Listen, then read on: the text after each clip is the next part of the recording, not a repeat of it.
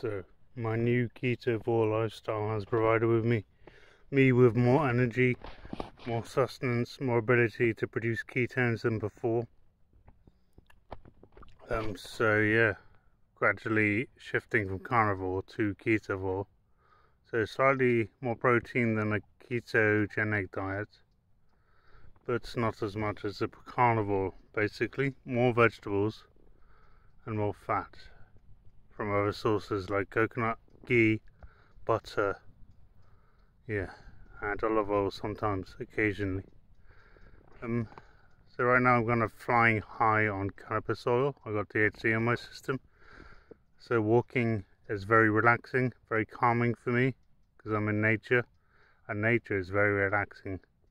Um, the vibrational frequency in nature is so calm, um, it affects us all. So yeah, that's what I'm doing. Welcome to uh, do the same today. Just getting out in the sun or the rain, it doesn't matter. Go for a walk, do something. Imbue yourself with energy from movement. Um, it's hard work, especially with cancer, but it's actually not as hard as you can make it sound. So the mind can tell us things are harder than they are.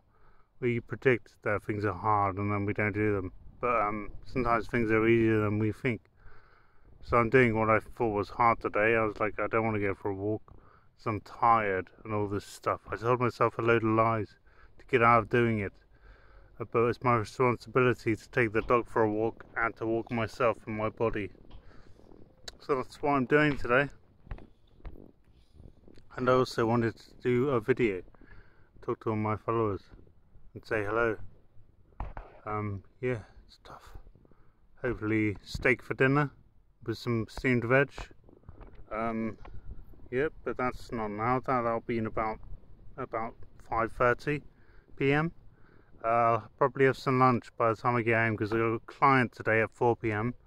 So I need some sustenance, some energy to get through that because that's quite a traumatic experience, reliving my past with my clients. It can be traumatic, but it can also be very cathartic because I find that when I talk about these things with clients, they tend to relate because they've all got cancer too, and they can relate. Uh, so it's easier. So I don't find people find it as ab absurd as it is because it is quite absurd the experiences I've had with my medical practitioners as well as uh, myself. Um, anyway, it's the life we live. Um, Hope you're living a good life and the sun's just beaming down on me right now. So have a beautiful day. Lots of love to you all. Take care. Bye.